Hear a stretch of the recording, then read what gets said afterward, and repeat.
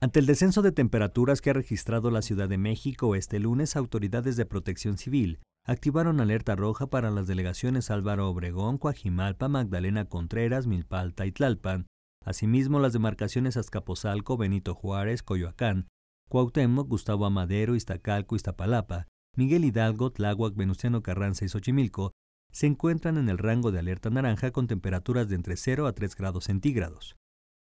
Ante dicho panorama generado por la masa de aire polar que impulsó el Frente Frío número 22, la capital mexicana registra vientos del norte y noreste de 15 a 30 kilómetros por hora.